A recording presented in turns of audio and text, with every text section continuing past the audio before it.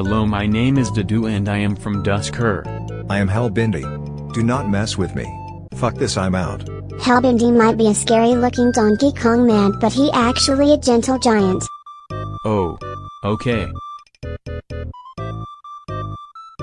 Wait is this already over?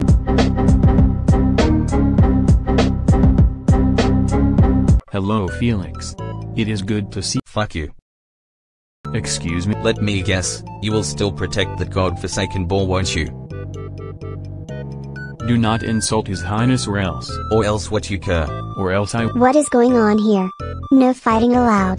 Just putting this animal in his place. You mean like a lagoose? No you idiotic runt. Nice Christmas costume. I hate it here. Don't we all? Goodbye.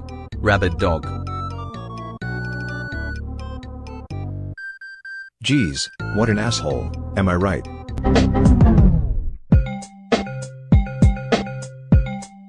I don't blame Felix for shitting on me like that. But why? Well, you see.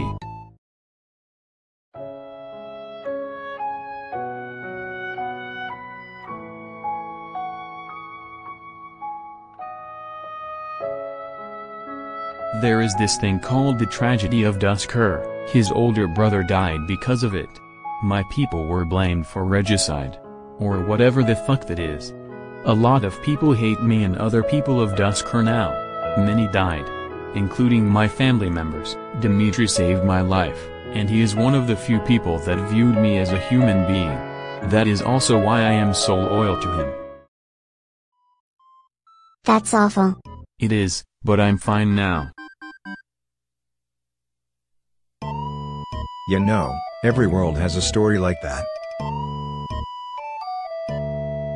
But this is Askr, so you don't have to worry about that here anymore. Bro are you just gonna sit there and say nothing for the rest of this?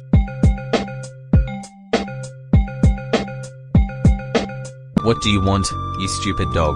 I understand what you were trying to say from last time. Our past does not follow us here. Was that it? I don't care. I do know that it wasn't for you.